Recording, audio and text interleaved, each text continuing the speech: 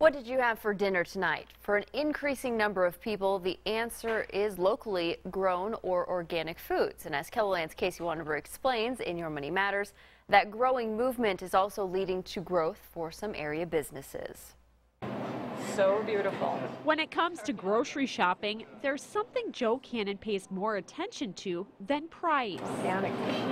That's the place her food is coming from. A good food uh, comes from the ground and that we have to honor our clean roots. Cannon is shopping at Co-op Natural Foods, a Sioux Falls store that specializes in locally grown and organic foods. Yeah, the produce department is has seen like 20 to 30 percent growth year over year. The business is seeing so much growth that it's physically growing too. The co-op is taking over this entire building near 18th and Minnesota by the end of 2020. Pretty much double our square footage.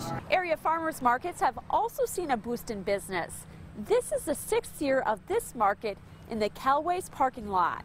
There's a, a, taste advantage, that's for sure. Chris Iott started his greenhouse and garden near Ward, South Dakota more than 30 years ago. I was born and raised in southeast Michigan and we had little farmers markets all over. When I come out here, there just wasn't hardly anything. Over the past five years, Iott says there are more businesses looking to take a piece of the locally grown pie. People are interested in knowing where they're where their food comes from now. A movement that Cannon predicts won't slow down anytime soon.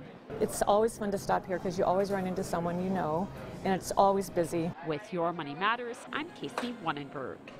The Davis Independent OBGYN care is currently in the location Co-op Natural Foods is expanding into.